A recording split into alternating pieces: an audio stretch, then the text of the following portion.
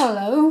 Um, well I have finished uh, half of the image and this is how it looks. And now to finish the other half still so um, I thought of uh, just uh, inform you guys. In the meantime I will uh, come back to you with full design. Okay?